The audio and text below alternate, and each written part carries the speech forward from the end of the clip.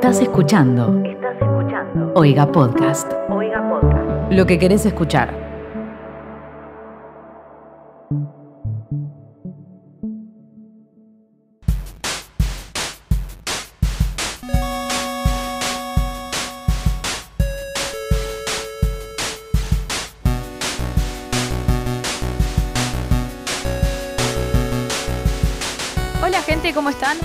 Bienvenidos a ¿Qué está pasando? Un podcast donde hablamos de todo lo que pasa en la mejor red social de todas, que por supuesto es Twitter.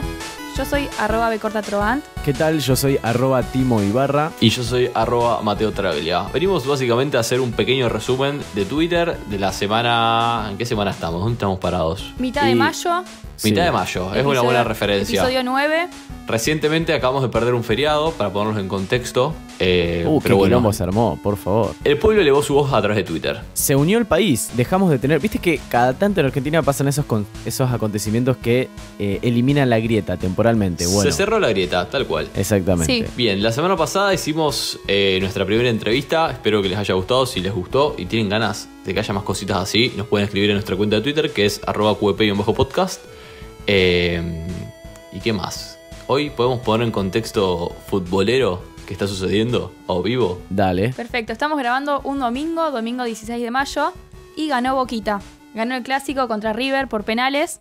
Y estamos todos muy metidos, ¿o no? ¿Qué pasó? ¿Tenemos tweets? La verdad que me- ni me enteré porque dormí. Ay, Tomás, un poco de cultura. No, no, discúlpame, pero yo no estoy para estas cosas. Eh, a mí que me importa poco y nada el fútbol, eh, estuve bastante eh, metido en el tema porque a través de Twitter me enteré lo que sucedió. Que si querés, Betroband, explícalo vos. O sea, ¿por qué estamos hablando de esto? Tipo, que, claro. Estamos hablando... O sea, más allá del superclásico, que imagino que es algo muy importante. Porque esta vez yo sé que, que hay un superclásico. Creo que, por lo que te referís, porque River no tenía todo el plantel porque estaba con COVID positivo, Ah, entonces- de eso me enteré, ¿eh? De eso me enteré. levantaron del sillón a un arquero que no había jugado nunca en primera, me parece, y le dijeron, vos mañana jugás contra Boca.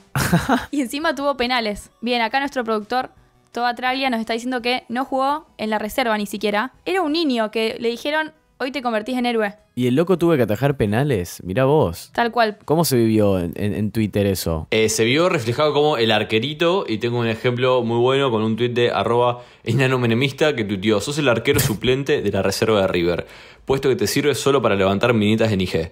Estás buscando una clandestina tranquila y de pronto te mandan un mensaje de que mañana jugás el superclásico. Pobre el inodoro Mal, de esa boludo. casa. Sí, estaba en otra. Mentalmente claramente no estaba preparado. Yo solo quiero decir que el arquero de River se quedó con la minita. Porque era un debate que estaba en Twitter. Yo creo que él se la merece. Yo pensé que se había quedado elegante con la minita. Para mí que robó el puesto. Viste que hubo un, un incendio eh, en Buenos Aires de una casa eh, y fue, cayó elegante a ayudar, pues es un santo. Y bueno, yo había visto que se quedó él con la minita, no sé si... Qué rey. Para mí está ahí, mano a mano. Bien. Y lo último que tengo para decir sobre el arquerito es que me contó mi hermano, o sea, fuente Ariel Black, que lo primero que hizo fue ir a la peluquería. Ah, eso lo vi. Tipo, bueno, igual yo también hubiese ido a la peluquería si ido con el pelo largo. Te ve, un te ve todo el país y más. Y maestro, debutás en un superclásico y tenés que tener un buen cortecito, el típico corte de jugador, viste que se corta la ceja también.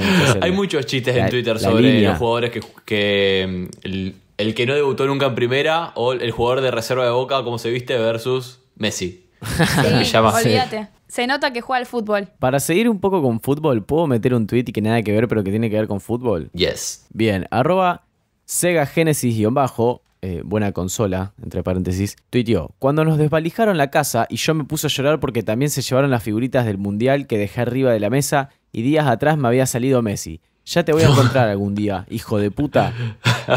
Qué necesidad, qué maldad, amigo. Tipo, dolor. ¿qué estaba Con la Figus no. Se lo llevó para el nene el, cho- el, el chorro. no lo boludo. podías dejar. Me parece cualquiera. Mirá lo que te traje del trabajo, hijo. A Messi. Messi. La canjeé por dos. Sí. Qué dolor. Y solo tuve que entrar a una casa y sacar un fierro y desvalijarla. La boludez.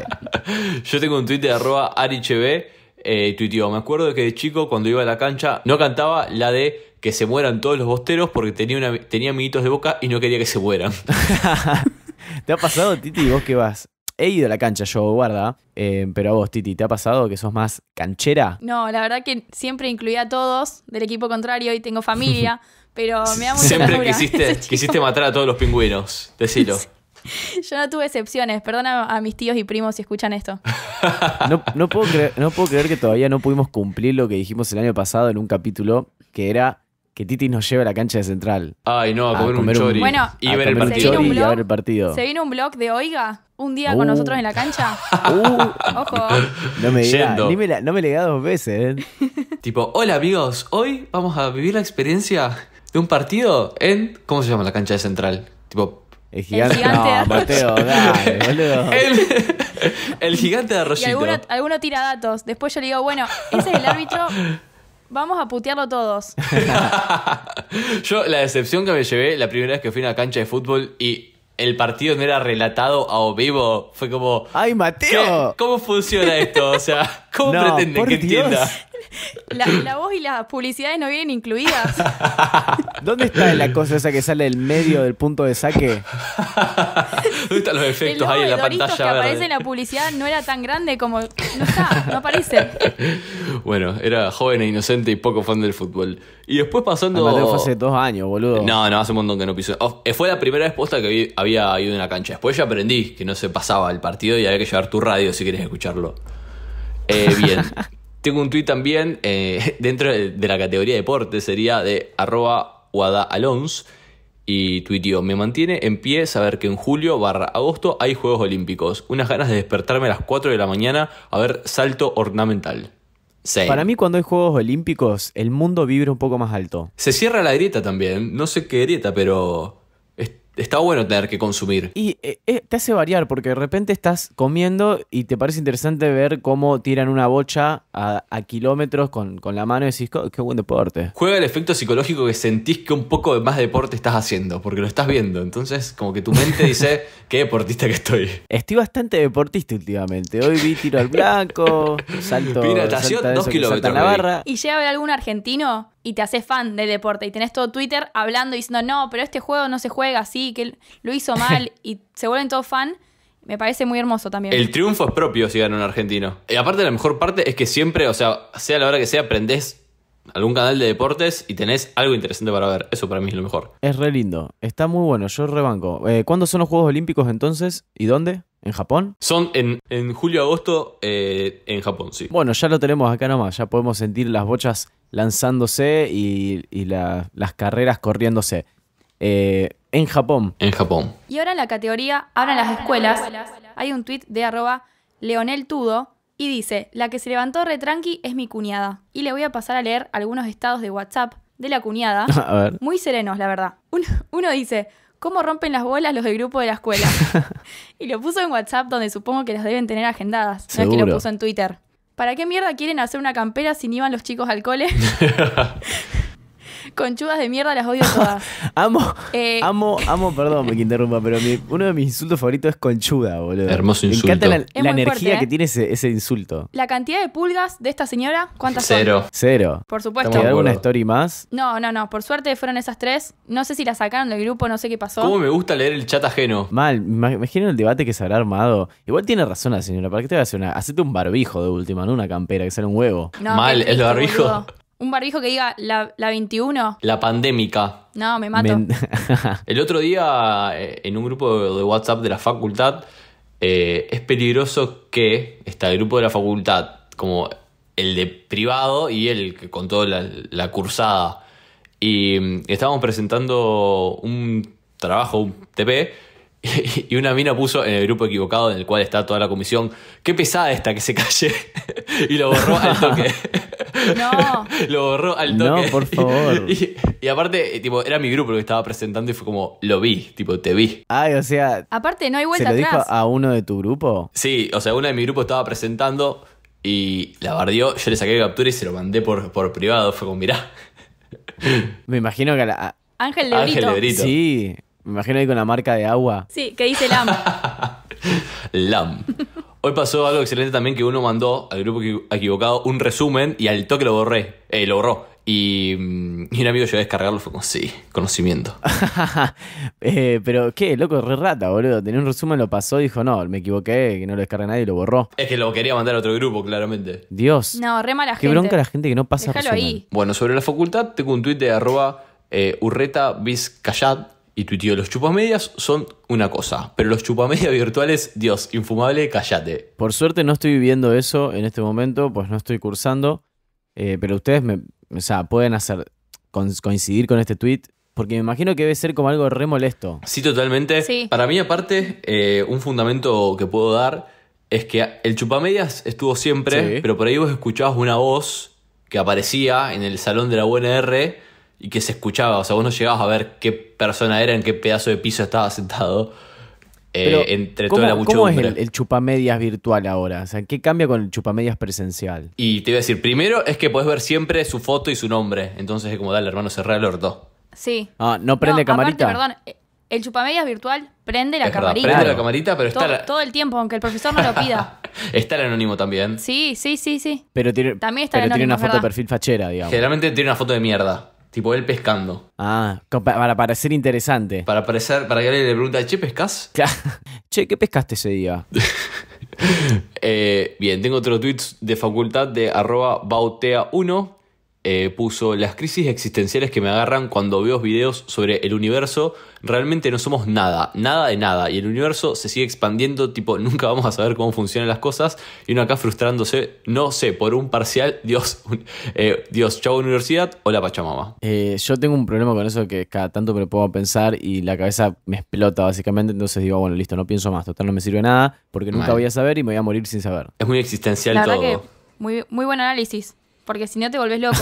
Gracias. Siguiendo con colegios. Ay, perdón, ¿te puedo interrumpir, Betrovant? Dale, dale. Porque tengo. Antes pensé con qué mierda uno este tweet y tengo un tweet sobre mi universo. A ver. Eh, el tweet es de arroba eh, veterat70 y puso la misma universo de Argentina, Dios, qué risa, todos tenemos un pasado believer. Entonces, mis universo subió una. es una foto de su feed en la cual le hizo un homenaje a Maradona, en una de las partes de mis universo, tipo uno de los challenge, ponele.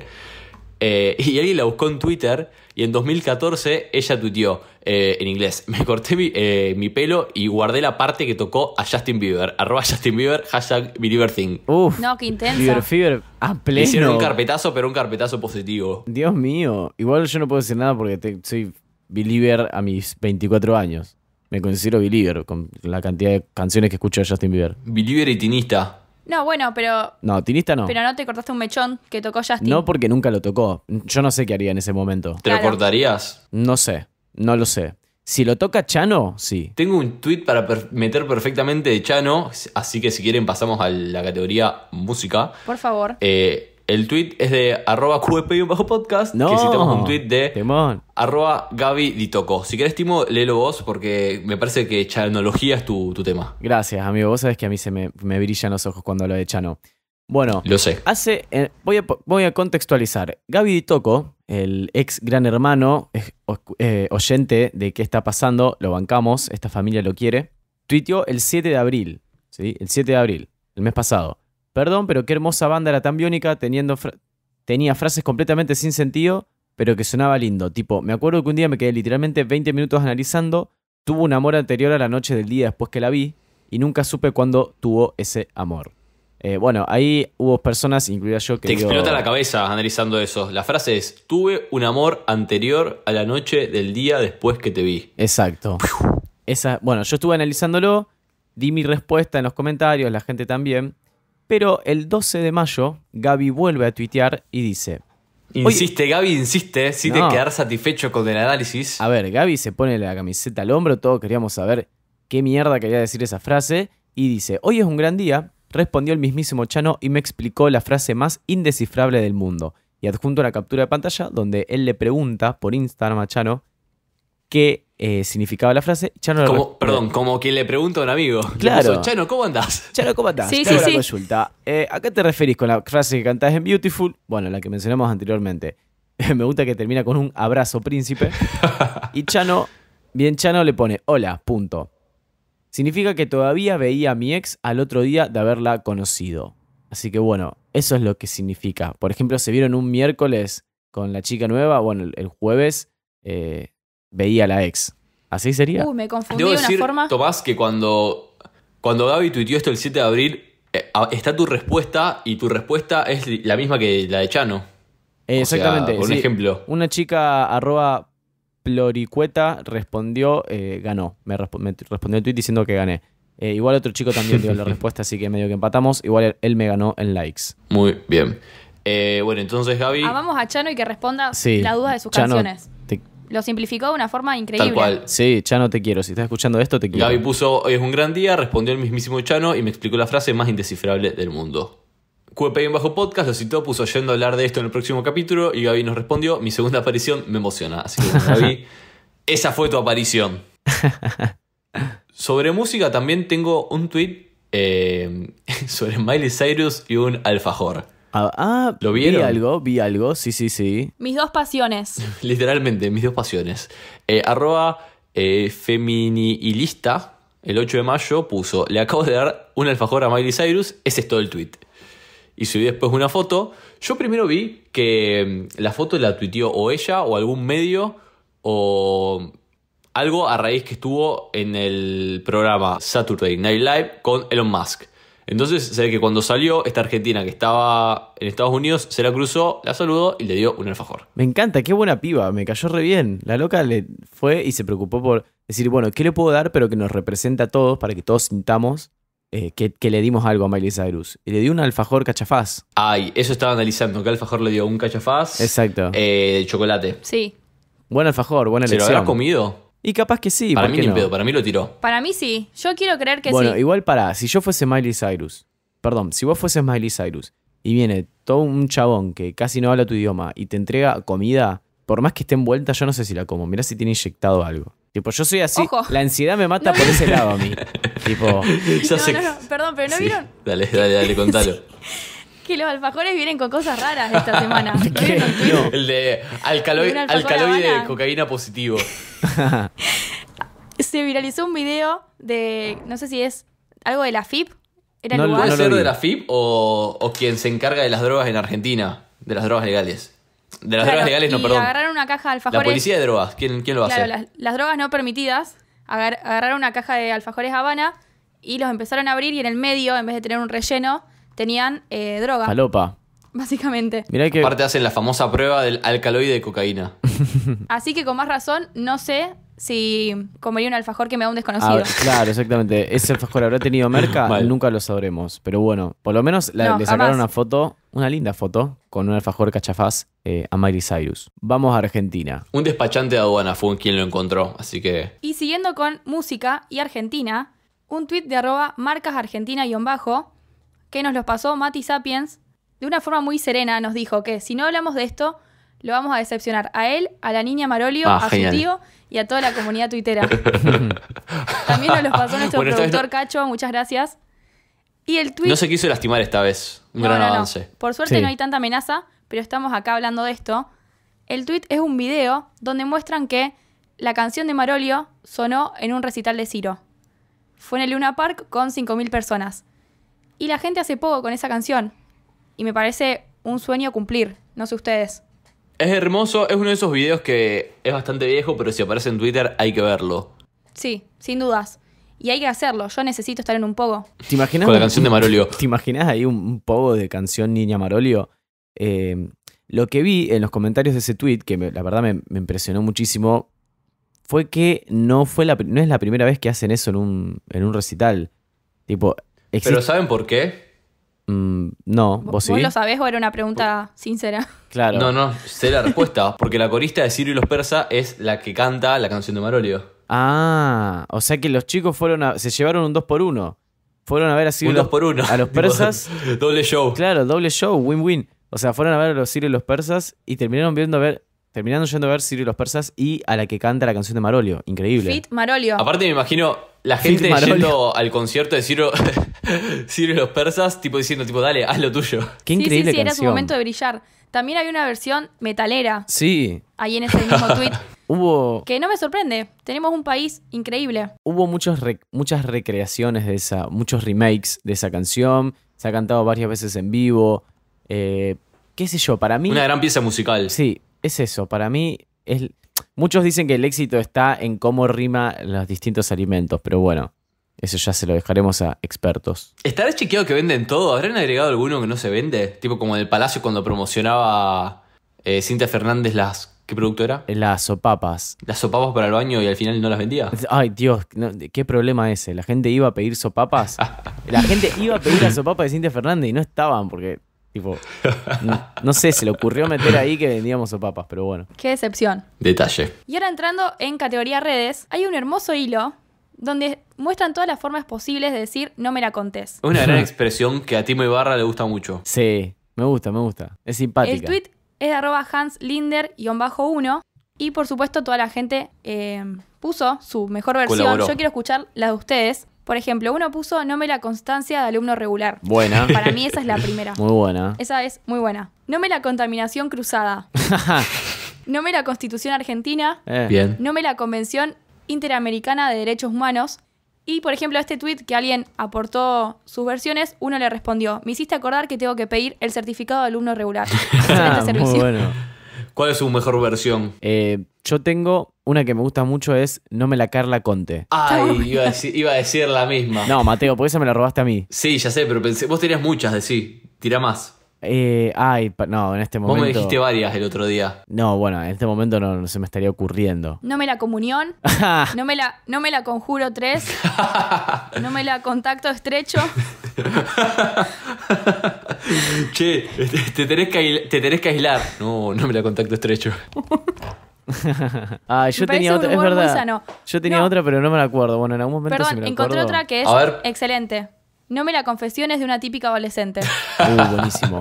Me parece muy bueno. Bien, si querés sobre Twitter, ya que estamos leyendo un tweet, arre, eh, quiero mencionar dos cosas. Que una, nos olvidamos de mencionar la, la vez pasada, sobre nuevas funciones. Primer función a mencionar. Ahora Twitter móvil no recorta las fotos en cuadradito, Ah, ¿viste? en cuadraditos, sino que te deja la foto versión rectangular. Bien, me gusta. Está muy esto? bueno. Eh, lo mismo está haciendo WhatsApp. Es verdad, WhatsApp hizo lo mismo. Está bueno más que nada porque no sé si recuerdan que lo hemos hablado también en el podcast, que en su momento, cuando Twitter elegía cómo recortar la foto, discriminaba un poquito, porque si ponían Sí. una persona blanca y una persona negra, elegía a la persona blanca. Y sobre el tema les recomiendo un documental en Netflix que se llama Sesgo Codificado. Eh, en el documental te muestra cómo literalmente la inteligencia artificial discrimina, pero porque básicamente replica la realidad. Entonces, como la información de donde se alimenta la inteligencia artificial para que funcione es racista, la inteligencia artificial es racista. Y eso de Twitter es un ejemplo. Muy Bueno. bueno, re interesante. Me acuerdo que lo hablamos. eh, y ahora, por ejemplo, no estaría más el formato de Open for a Surprise. Ah, eso es lo que Ah. pensé. Es más, tú, a ver, vos tenés un tweet destacado de eso. Me estoy ya entrando a, A ver. Ah, a es Por verdad. favor, perfil. contame. A ver si Tambores. Arroba- ¿Cómo era tu tweet? Arroba. Mateo Traglia. Es mi tweet destacado. De Puy. A ver, eh, yo estoy en la versión computadora, en la Ah, versión no, pero- PC, pero la- y sí, ah, Pero funciona. la versión PC no lo actualizaron nunca. Ahora agarro el celu para fijarme. La versión PC no corre el tema del recorte de las fotos. Ah, me arruinaron, me arruinaron el tweet destacado. Exactamente, bien. Acá estoy viendo que sí, te arruinaron el tweet destacado. Ya, igual ya Mateo desde el 2017 era tiempo de, de cambiarlo. Creo que hay que actualizarlo. Sí, por favor. lo, des- lo desfijé. Igual no, se lo voy a dejar así que si que quieren ver lo, lo que era, pueden verlo en arroba Mateo Traglia en la versión de su celular, no en la versión web. Y la segunda actualización es que ahora se pueden mandar audios por mensaje directo de Twitter. Ah, lo vi. Muy cómodo. Está bueno, está bueno. Me Igual parece útil. sigue- No creo que todos lo manden si no conoces a alguien, porque sigue siendo igual de. Claro. El de Alf, tipo el de Alf está, el de la voz de Alf está contento. Olvídate. Sí, él lo estrenó, estoy segura. Perdón, una aclaración, duran 140 segundos como máximo y se escuchan con muy buena calidad. Con buena calidad, mira vos. Sí, como en Instagram, no así WhatsApp. Bueno, muchas actualizaciones Twitter. Sí, sé lo que me molesta de Instagram, Eh, que no se reproducen los audios automáticamente, uno tras otro. Una paja. Sí, es verdad, muchas actualizaciones de parte de Twitter. Se pusieron a laburar por fin. Bueno, y siguiendo con audios, hay un tweet de arroba antososo y dice, cuando te dicen, mejor te mando un audio, ¿mejor para quién? lo dijo. Lo dijo. Totalmente, boludo. Bueno, escúchame, mejor te mando un audio. No, es mejor para vos. Tipo, pensá en mí. No Yo quiero tengo un escuchar tu cliente que- voz que... tarda 30 horas en decir una palabra. Sí, aparte la gente no lo suele resumir. Tengo un cliente que tiene estado, no escucho audios, si lo mandás como diciendo, no lo voy a escuchar igual. me parece una muy buena información que tiene que estar en tu foto de perfil. Yo tengo un par de contactos con la misma bio y cada vez que leo eso me dan ganas de mandarle audio diciendo tipo, hola, ¿lo vas a escuchar? Ay, Mateo, Y seguramente lo va a escuchar. Dudo que se quede con la intriga. yo lo que estoy haciendo, por ahí si mando un audio a algún amigo eh, y veo que dura mucho, lo borro y lo resumo y mando el audio de menos de 15 segundos. Mal. Siento que estoy haciendo mucho por la humanidad. 30 segundos está bien para un audio para mí. ¿Qué prefieren? ¿Audio largo o muchos audios cortos? Muchos audios cortos, porque la información está distribuida. Entonces, si quiero volver a repasar una parte del contenido, voy y busco el audio que tenía esa parte. Sí, aparte me, me engaño sola y pienso que es menos, así que Claro. Está- en cuotas. Estás ventilando en cuotas. Y ahora leí que WhatsApp va a tener la misma opción que Telegram de reproducir los audios en velocidad eh, acelerada. ¡Oh, qué bien, boludo! El futuro está llegando, muchachos. Qué lindo momento para estar vivo. Mal, totalmente. Pensar, pensar que hay gente que vio el, el, el alunizaje, nosotros estamos viendo los avances de WhatsApp. Tal cual. Otra cosa que vamos a llegar a Orgullosa de ver. mi generación. Otra cosa que va a llegar a ver esta generación es el reencuentro de Friends. No sé si vieron que esta semana empezó a ser publicado, que tiene fecha de estreno. Eh, sí, pero, pero como no veo Friends, no entendí. Mira cómo viene corriendo Toba para opinar. eh, ¿Qué dijo? ¿Qué dijo? que le chupo, que nada le puede chupar más un huevo que esa A mí me sorprende la cantidad de invitados que van a tener y es como, uy, Dios, qué asco, ¿qué van a hacer con todo esto? Es como, que no sé si puede salir Pero bien. perdón, ¿están todos? Están todos. todos- o es como bandana que faltaba una? No, están los seis y aparte va a haber invitados especiales como Justin Bieber, James Gordon y otros, pero son un posto de una banda, son los únicos que me acuerdo. A ver si quieres se los busco. Che, pero yo algo que no entiendo. ¿Vuelve Friends o No. hacen un capítulo de, de reunión? Es un capítulo de reunión, se va a llamar tipo el, el The One with the Reunion, que es como el de la reunión. Y, a ver, Claro. O sea, si fuesen argentinos, es como que harían la despedida en el Gran Rex. tal cual, re. Como Y- que sí. es una sola, una cosa única. Escuchen los actores invitados. Viejos actores de la serie famosos como Lady Gaga, BTS, Justin Bieber y la activista Malala. ¿Quién es Malala? La, un premio Tiene nombre Nobel, de princesa de Disney. no, premio Nobel de la Paz. Yo pensé en la de Floricienta, es, que es Malala. Es también, no es ese igual. Llegó lejos. Bien. ¿No está Adrián Suárez invitado? ¿Viste que Adrián Suárez No. siempre invita a todos lados? Tinelli, el Choco Tinelli, no, el Choco Usar y, Sí. y- ¿cómo le dicen? Susana. Una falta de respeto que no le haya llegado la invitación a Susana. A Mirta. Bien. A Tini. Mal, a Tini. Perdón, pará, ¿podemos elegir rápidamente qué argentino nos podría representar mejor en esa reunión? Para mí está bueno. man- Bueno, nuestro productor dice Lali. Yo diría Marley. que Tini o sus Marley o Susana Jiménez. Marley. Susana Marley. Jiménez es una reina. Mm, Marley es Sí, muy pero Friends. para mí me, me representa más Marley. Como más, más Tipo, simpático. cayéndose, haciendo alguna cagada y que los actores de fondo, tipo las risas, esas grabadas. Mal. Como, "Ay, Marley, es tan vos. Bien, tengo para. Tengo para proponerle sobre Friends un tweet y un debate. El tweet es de arroba Paula eh, Cadanes y tuiteó el 13 de mayo. Ahora que Friends vuelve a ser tendencia, vengo a decir que desconfío de toda persona que no tenga arroz como el peor de los seis. Esto fue un debate en Twitter porque la gente estaba hablando de a qué personaje de Friends eliminarían. Mira, Eh, yo estoy. Este podcast no lo vio. No, yo sí y estoy completamente de acuerdo. Es muy eh, incómodo. vi que mucha gente lo bardeaba a Ross. Yo como no vi la serie, eh, te puedo decir que ya me está cayendo mal. La voy a arrancar la, la Sí. serie con un sesgo porque dije que la voy a ver. Claro. Tipo, va a aparecer Ross en el primer capítulo y decir, "Mm, me estás, la verdad, bastante forrito sos. Medio tóxico. Analizalo, analizalo eso. Medio toxi. ¿Y vos? ¿Qué personaje odias? Déjanos en los comentarios. Tendría que ser la sección usted se tiene que arrepentir, arrepentir de lo que dijo, pero bueno, no tengo a nadie con quien debatir. Y bueno, loco, tira un mejor tema no, la te pedimos perdón, amigo. Y tengo un tweet para meter acá, también medio polémico. Lo relacioné con las plataformas de streaming. El tweet es de arroba anchota-bajo y puso, no puedo creer que en mi barrio hay dos videoclubs funcionando actualmente. Adjuntó una foto y bueno, ¿qué, qué opinan de esto? ¿Por qué hay un videoclub abierto? ¿Quién, tiene un DVD en la casa? Ey, yo tengo uno un cerca de mi casa. DVD. Cerca de mi casa hay un videoclub que sigue en pie, pero que te carga, sube, no sé, capaz que te lava ropa, como que ahora hace de todo, pero sigue siendo, un multirrubro. pero sigue siendo videoclub. Bien, P- Perdón, antes de seguir quiero decir que se pongan derechos. yendo. Gracias a Decime bajo termo que me dijo que la otra vez me olvidé en el, en el episodio anterior y cuando me acordé ya era tarde. Así que gracias también por estar comprometida con la, comprometida con la causa. Ahora ya pueden seguir. Controladísima te tienen, Betroban. No, terrible. Bueno, y para ir cerrando, tengo un tweet en la categoría comida de arroba chinapacher y dice: Hice una joda en mi campo y me robaron un lechón. Nunca más.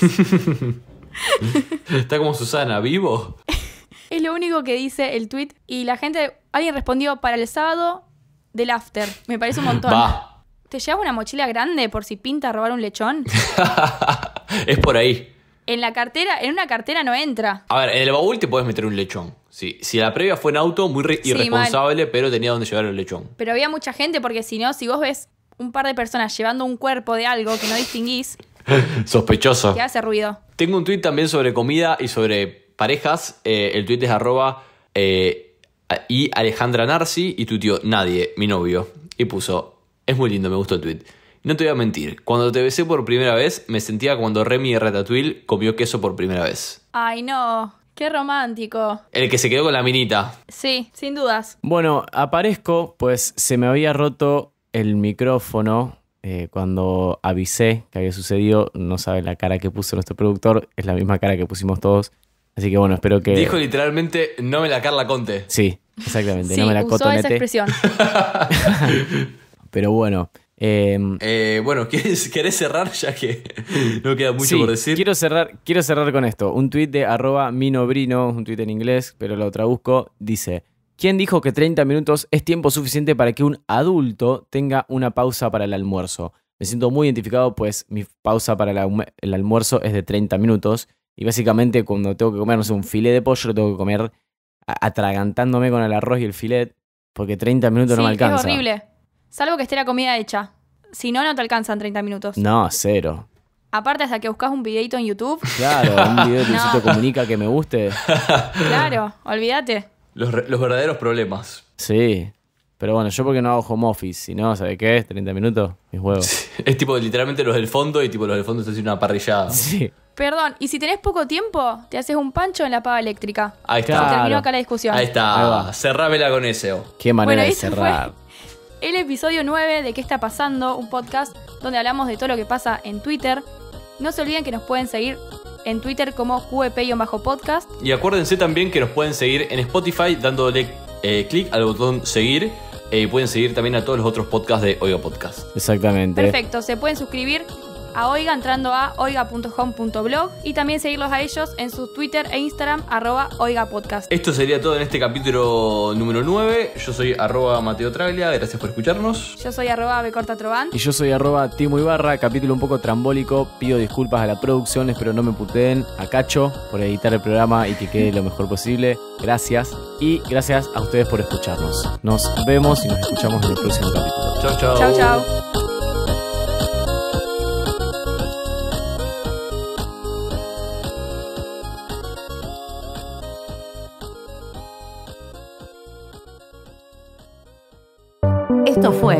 Podcast de Oiga. ¿Querés escuchar más? Seguinos. Arroba Oiga Podcast.